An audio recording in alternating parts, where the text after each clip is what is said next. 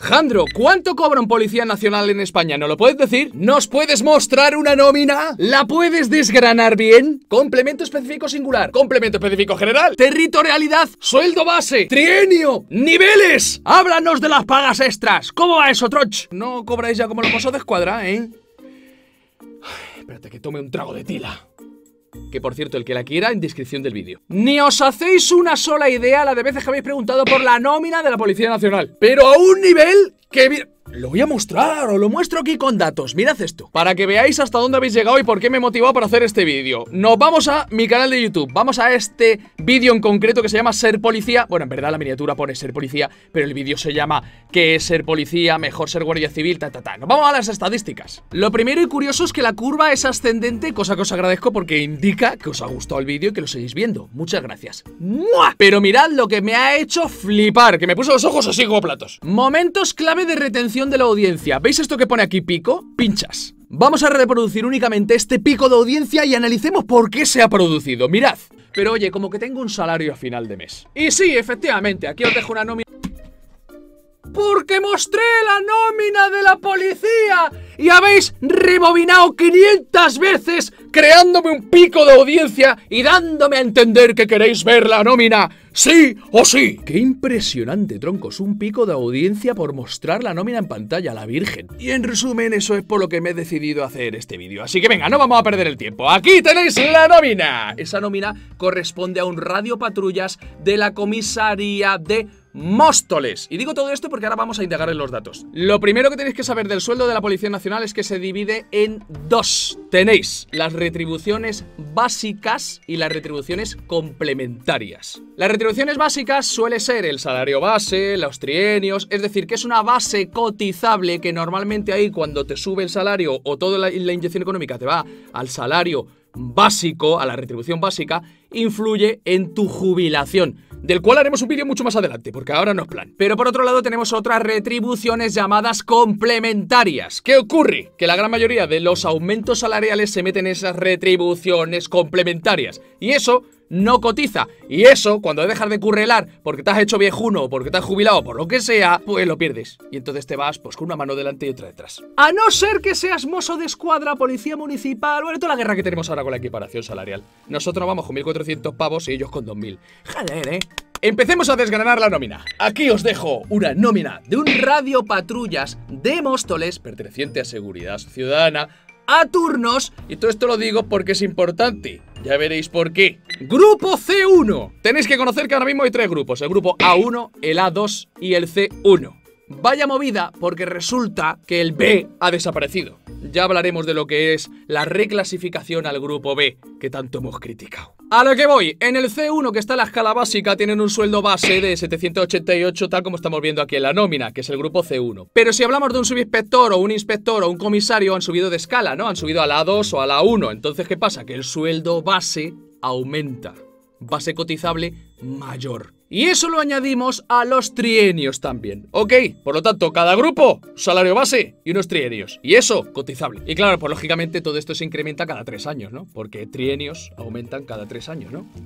Te explota la cabeza, ¿eh? Y luego también las subidas que haga el gobierno, que ahí ya no me meto. El Zapatero te lo baja, el otro te lo sube, luego la falsa equiparación te lo sube, luego te recortan en Hacienda, una puta mierda. El mismo caso de los grupos, A1, A2, C1, tal, para las pagas extras y los trienios. También vuelven a cambiar con el tema de las pagas extras. Pero bueno, que sepáis que, que ya está, que es diferente. En este cuadrito de la nómina también podéis ver ahí que pone nivel de puesto 17. Bueno, eso ya hablaremos ahora cuando lleguemos a la territorialidad y el complemento de destino, ta, ta, ta, ¿vale? Pero dejadlo ahí que se os fije la vista. Y en el cuadrito de al lado también podemos ver el IRPF. El IRPF también es modificable. Si vais a vuestra comisaría y vais a hablar con secretaría, le decís, oye, tranco, bájame, súbeme el IRPF porque es que quiero que me quiten más, que me quiten menos, tal. Y luego también va a depender de si tenéis hijos, de si tenéis hipoteca, de tal y cual. Cada nómina es un mundo, ¿vale? No veis ahí un 18,60 como algo normal, porque yo tengo menos.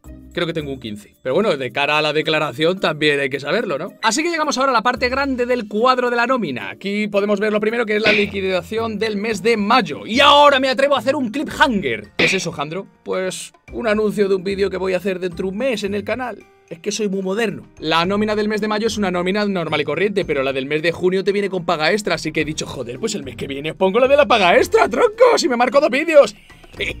Así que vamos a los devengos, que es lo que se cobra. Vemos el salario base, el sueldo base 788,42, que es lo, que os acabo de decir del C1. Vemos ahí el trienio, en este caso pertenece un trienio al C1 y solo tiene uno, 28,85. Pues eso va aumentando. C1, 2, C1, 3, C1, 4. Cuanto más viejo uno, pues cada 3 años va aumentando. Y si subes luego de...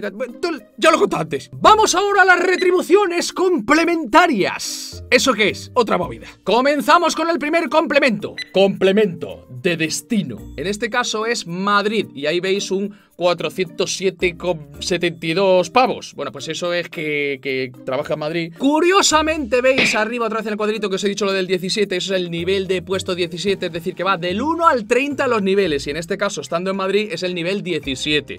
Dependiendo de dónde trabajéis, si es en la jefatura, si es en una comisaría, si es en Policía Científica de Ceuta, este justo que pongo en pantalla es del año pasado, pero para que os hagáis una idea, ¿vale? Esto va cambiando. ¡Vamos con el CE! ¿Qué significa eso? Complemento específico, que casualmente se divide en dos. Esto es lo que no le pasa a los mozos de escuadra, solo tienen uno eh, y cotizable, que me voy a callar. Nosotros tenemos dos, uno que es el general y otro que es el singular. ¿Dónde van las movidas? Al singular. ¿Para qué? Para que cuando te jubiles no percibas un puñetero duro. Es que el Estado...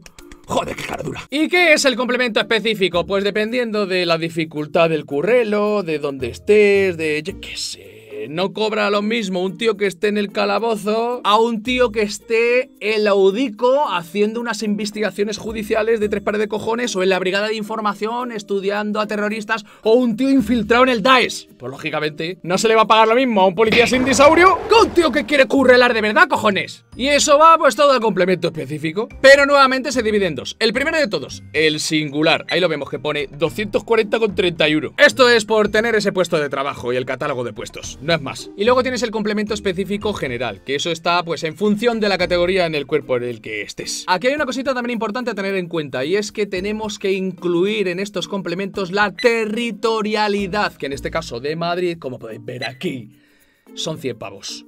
Pero si estáis en otra comunidad, en otra comisaría de otro lado y tal, pues a lo mejor cobráis más o menos. Ya sabéis que Ceuta Melilla, las Baleares, tal y cual, pues aparte es que encima esta gente tiene hasta un complemento de residencia. O sea, territorialidad y residencia también. Lo flipas. Ya por último también deciros que tenéis la turnicidad, que bueno, pues no es lo mismo estar ahí, tiene 120 pavos más ahí por estar a turnos, coña. De momento tenemos la cadencia 6-6, por eso te pone lo de CAT, ¿vale? Pero bueno, cadencia 6-6 que eso ahora vemos que va a cambiar. A lo mejor te pone el 6-5 y perdemos un día libre. Eh, eso está en lucha todo el rato. Lleva el sub desde el año 2015 dando caña con eso, así que ya veremos lo que pasa. También vemos que cobramos productividad y además que sepáis que para el mes de enero eh, se hace como una sumatoria ahí de toda la productividad del año y toda la hostia y en enero te viene otro pequeño incremento ahí con la productividad. Mm, yo qué sé, ya no me acuerdo de lo que se cobra, pero échale que te pegan un pellizco más.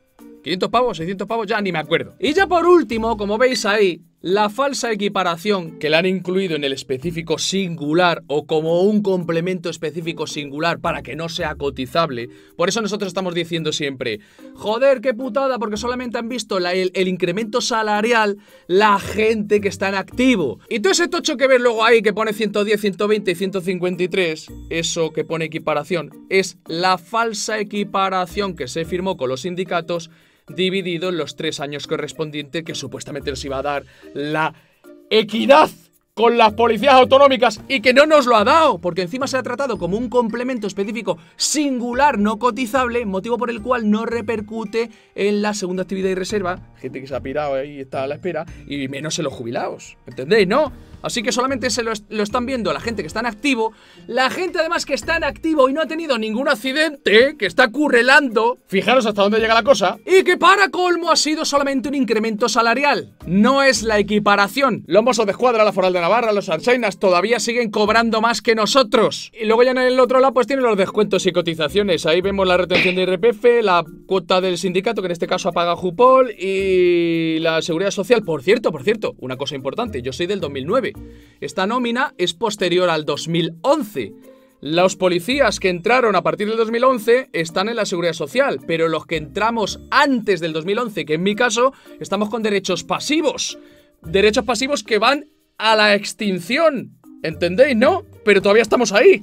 ¡Qué movida, troncos! Mucho más que hablar de esto. Y finalmente todo esto hace una suma total de un policía normal y corriente patrullando las calles de una localidad a turnos de 2024,84 eurazos. Y ahora es cuando vosotros ya tenéis que valorar, ¿no? Es decir, en épocas de bonanza os parece una mierda de sueldo porque un albañil ganaba 4.000 pavos. En épocas de crisis, joder, es que ser policía es un sueldazo, coño. No le suban mal el dinero a la policía, coño, que ganan pastizal. Pero la realidad es que por 2.000 eurillos teniendo en cuenta además que otros cobran más y por el mismo trabajo, mismo salario, y que hay desigualdades y que el Ministerio de la Igualdad aquí no hace nada. Por cierto, un mozo de escuadra varón cobra más que una mujer policía nacional. Y ahí lo dejo caer, Ministerio de la Igualdad. ¿Qué pasa? ¿Esa desigualdad no la ves o qué? Pero aquí solo sé que ver lo que se que debería estar y así no va. Pues lo dicho, que aprovecho para deciros que el mes que viene vamos a traeros la nómina con la paga extra, donde vamos a hacer una comparativa con la paga extra de una nómina de mozos de escuadra para que veáis otra desigualdad. Si estás viendo este vídeo el mes que viene, en la descripción del vídeo ya tendrás ahí su enlace para ver el de la paga extra. Si lo estás viendo antes, pues oye, espérate un poquito, que ya enseguida que cobremos